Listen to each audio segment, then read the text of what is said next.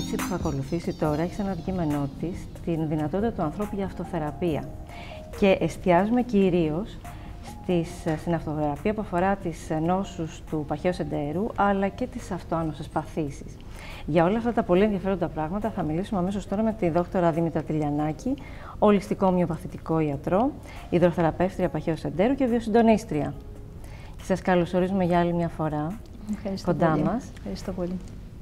Ε, πραγματικά μας έκανε εντύπωση, μας κέντρισε το ενδιαφέρον όλο αυτό το πλούτος των γνώσεων μάλλον που έχετε αποτυπώσει μέσα σε ένα βιβλίο με τίτλο «Ξεκλειδώστε τα μυστικά αυτοθεραπείας για το παχύ έντερο και τα αυτοάνοσα». Είναι ένα πάρα πολύ ωραίο βιβλίο που φαίνεται μέσα από όλο αυτό όπως το διαβάζει κανείς ότι ξεκινάτε με αφετηρία την αγάπη σας για τη φύση και το σεβασμό βέβαια στη φύση αλλά και στην πνευματικότητα του ανθρώπου και φυσικά και στη ρίση του Ιπποκράτη ότι το φάρμακό μου είναι η τροφή μου.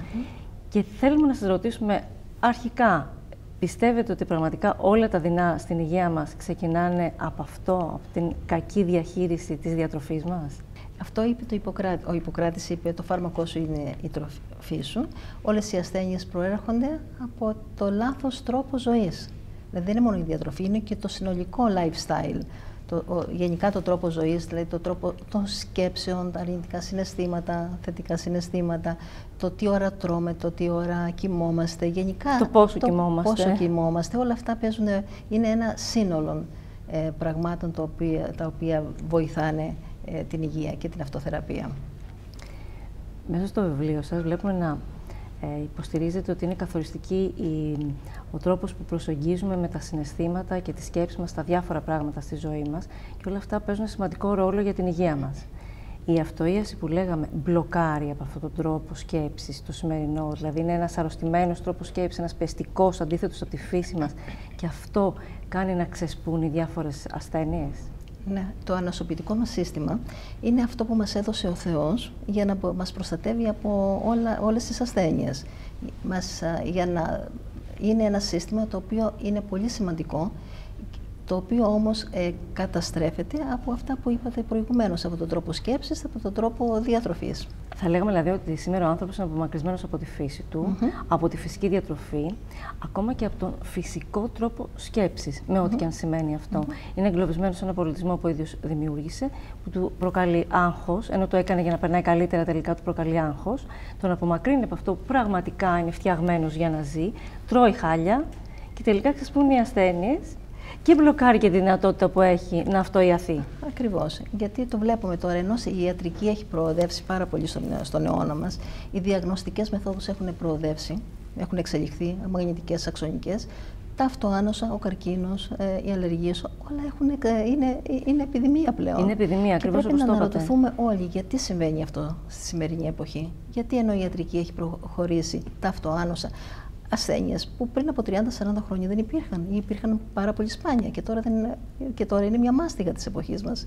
Έχετε δίκιο. Αυτό είναι ένα θλιβερό συμπέρασμα, αλλά βγαίνει και ας πούμε το αισιόδοξο μήνυμα ότι υπάρχει μέσα μας η δύναμη αυτοίασης. Άρα ας επικεντρωθούμε κάπως αλλιώς, να προσανατολίσουμε τον τρόπο ζωής μας σε άλλα μονοπάτια και μπορεί να ξανακερδίσουμε το έδαφος που έχουμε χάσει. Θα το ξανακερδίσουμε σίγουρα, αν αλλάξουμε.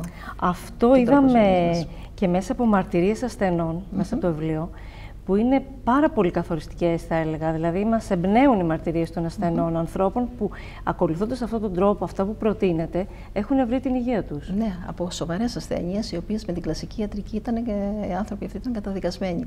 Όμως ήθελαν. Το, το σημαντικό είναι να θες, όπως λέει ο, Ιπποκρα... ο Ιπποκράτης, έλεγε ότι πριν γιατρέψεις κάποιον, ρώτησέ τον αν είναι έτοιμος να αφήσει όλα αυτά που τον έχουν κάνει να αρρωστήσει. Αυτό είναι πολύ σημαντικό. Είναι πολύ σημαντικό όταν αγαπάμε τον εαυτό μας. Δεν θέλουμε να αλλάξουμε αυτά που μας έχουν κάνει να αρρωστήσουμε, το καταφέρνουμε. Ναι, έχετε δίκιο. Ναι. Θέλει δύναμη, βέβαια αυτό. Θέλει, θέλει δύναμη, θέλει να αλλάξει και πολλά πράγματα mm -hmm. στη ζωή σου. Θέλει να αλλάξει αυτά που έχεις συνηθίσει. Να σωστά. πάμε τον εαυτό μας και να θέλουμε να έχουμε σκοπό και νόημα στη ζωή μας. Και να έχουμε συνειδητοποιήσει ότι τελικά αυτά μας αρρώστησαν, mm -hmm. άρα αυτά θα τα αλλάξουμε. Ναι. Ε, αυτό το βιβλίο θα μπορούσαμε να πούμε ότι λειτουργεί σαν ένας οδηγός υγείας. Mm -hmm. Σωστά. Θέλετε να μας πείτε ποιε, έστω και ονομαστικά, γιατί ναι. θα έχουμε τον χρόνο, ποιες ναι. είναι αυτές οι παθήσεις με τις οποίες έχετε εστιάσει, δηλαδή οι παθήσεις του παχαίου εντέρου και τα αυτοάνωσα νοσήματα; Έχω εστιάσει τις παθήσεις γαστροϊσοφαγική παλιδρόμηση, αιμοραίδε ραγάδες, διάρρεια, διαρρέων έντερο, δυσκυλιότητα, ελκώδη κολίτιδα, ευερέθιστο έντερο, κάντιτα, νόσο του κρόν, τυμπανισμός, δηλαδή το, τα φουσκώματα που έχουμε, ε, το μικροβίωμα του εντέρου που είναι πολύ σημαντικό, γαστρίτιδα, έλκος, ελικοβακτηρίδιο του πυλωρού και πάμε μετά στα αυτοάνωσα, τα, τα, πολύ, τα πιο σπουδαία και τα πιο συχνά. Διαβήτη, συνομιαλγία, ρευματοειδή αθρίτιδα, σκλήρηση κατά πλάκας, χασιμότο, ψωρίαση, κοιλιοκάκι. Μάλιστα. Είναι ένας οδηγός υγείας με πολύ απλά λόγια, τι επιτρέπεται να τρώμε σε κάθε περίπτωση, τι απαγορεύεται, πλήρως εικονογραφημένο, απλά κατανοητά για όλο τον κόσμο, ε, τι, ε, ποια βότανα, ποια συμπληρώματα, τι πρέπει να κάνουμε στην καθημερινότητά μας για να πετύχουμε την Έχετε χωρίσει και τις ασθένειες σε ένα βρετήριο. Οπότε ο καθένα μπορεί να εστιάσει σε αυτό που τον απασχολεί περισσότερο και να βρει κάποιες. Γι' αυτό το είπα και σαν οδηγός υγείας. Να πούμε λίγο, ε, πολύ σύντομα, ποιες είναι οι αιτίες για, για τις αυτοάνωσες παθήσεις, που όπως είπατε και εσείς πριν, πολύ σωστά είναι πλέον επιδημία; Τα γονίδια παίζουν πολύ μικρό ρόλο στις αυτοάνωσες ασθένειες. Ένα 5% περίπου. Ε, οι, οι, οι άλλες αιτίες είναι τοξίνες από το περιβάλλον, το τι αναπνέουμε, το τι τρώμε, τι νεροπίνουμε, ε, ε, τοξίνες από τη διατροφή μας, τα χημικά φάρμακα τα οποία παίρνουμε συχνά, γιατί τα χημικά φάρμακα καταστέλουν το ανασωπητικό το σύστημα. Και γενικά όλα αυτά που μας τοξινώνουν καθημερινά, τρόπο σκέψης και, τρόπο, και τα συναισθήματά μας. Και τα συναισθήματα που λέτε προφανώς είναι για εκείνα που επηρεάζουν κυρίως και το έντερο. Οπότε προκύπτει και η άλλη ομάδα στην οποία έχετε εστιάσει, mm -hmm. η φλεγμονώδης νόση του εντέρου. Δηλαδή προφανώς αυτή η ρίση που ακούμε συχνά ότι το έντερο μας είναι το, ο δεύτερος εγκεφαλός μας, ε, επηρεάζεται πάρα πολύ από τον τρόπο που ζούμε, έτσι. Πάρα πολύ. Όταν αγχωθούμε, δεν πονάει λίγο, δεν ναι, σφίγγεται αμέσως στο στομάχι. αμέσως στο ναι. στομάχι και το έντερο. Ε, είναι πολύ σημαντικό να μάθουμε να διαχειριζόμαστε τα συναισθήματά μας. Ε, γιατί αλλιώς ξεσπάνε σε προβλήματα του, του εντέρου. Ένα άλλο θέμα που θα ήθελα να πούμε είναι για, την, για το μικροβίωμα του εντέρου και τον καθοριστικό του ρόλο στην διατήρηση της καλής υγείας, αλλά και στην εκδήλωση μιας πάθησης, όταν δεν είναι ε, δεν υπάρχει ισορροπία στο μικροβίωμα. Να αναφερθούμε λίγο σύντομα και σε αυτό. Ναι, το μικροβίωμα είναι αυτό η χλωρίδα του εντέρου που λέγαμε παλιά. Όλα τα φώτα τώρα της ιατρικής είναι στο μικροβίωμα του εντέρου. Μέσα στο έντερό μας υπάρχουν καλά και κακά βακτηρίδια. Χρειάζονται, αλλά να υπάρχουν σε μια ισορροπία. Αν αναπτυχθούν τα κακά βακτηρίδια, τότε υπάρχει μια δυσβακτηρίωση στο έντερο και από εκεί ξεκινάνε πάρα πολλές ασθένειες.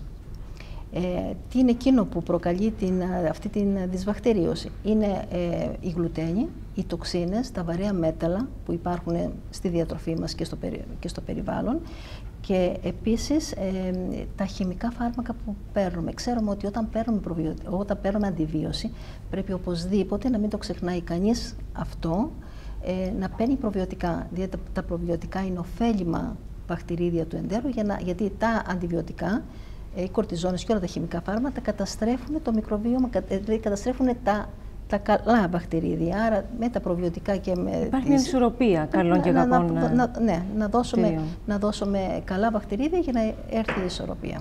Άρα, δηλαδή, αυτή είναι η συμβουλή που θα μπορούσαμε να δώσουμε σε κάποιον που μας ακούει.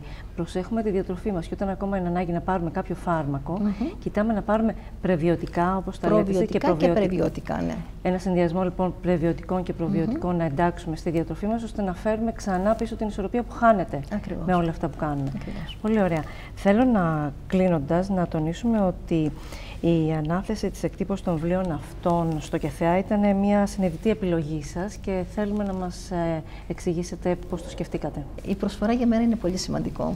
Ε, έμαθα ότι το ΚΕΘΕΑ Θεσσαλονίκης έχει μια πολύ ωραία τυπογραφική μονάδα και αποφάσισα να αναθέσω την εκτύπωση και δεν έκανα και λάθος γιατί βλέπω ότι είναι πάρα πολύ σημαντική και τα, τα εκτυπωτικά θα πάνε στο πολύ σημαντικό ρόλο που, ε, που επιτελεί το, είναι πολύ σημαντικό, για την απεξάρτηση των παιδιών Έχετε δίκιο, είναι ένα έργο που θέλει στήριξη, θέλει στήριξη, θέλει ναι. στήριξη όπως και οι άνθρωποι που εντάσσονται στο ΚΕΘΕΑ για να βρουν και εκείνοι πάλι την υγεία τους. Ε, επίσης θέλω να σας ευχαριστήσω και γιατί για την προσφορά στους τηλεθεατές μας που θα θελήσουν να παραγγείλουν το βιβλίο σας μέσα από την ιστοσελίδα σας στο enolo.gr ε, που θα το βρουν σε μια καλύτερη προσφορά για τους τηλεθεατές εκπομπής. Όσοι τηλεφωνήσουν να πούμε και το τηλέφωνο. Βεβαίως. 281 0 24 22 79. Πολύ ωραία. Σας ευχαριστούμε λοιπόν. Ε, η αλήθεια είναι το ξεκλείδωσε στα μυστικά της ε, αυτοθεραπείας μας έχει κάνει εντύπωση και θα το έχουμε και εμείς σαν οδηγό για τα δικά μας προβλήματα. Σας ευχαριστούμε πολύ κύριε Τηλιανάκη. Και εγώ ευχαριστώ για τη δυνατότητα που μου δώσατε. Να είστε καλά. Ευχαριστώ.